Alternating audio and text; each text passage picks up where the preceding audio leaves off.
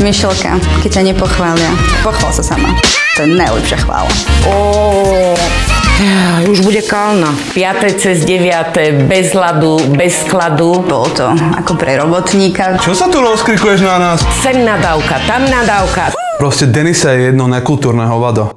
Opa! Keby som mohla, tak jej to chrsnem do tváre. Bez servítky. Dnes o 17.50 na Jojke.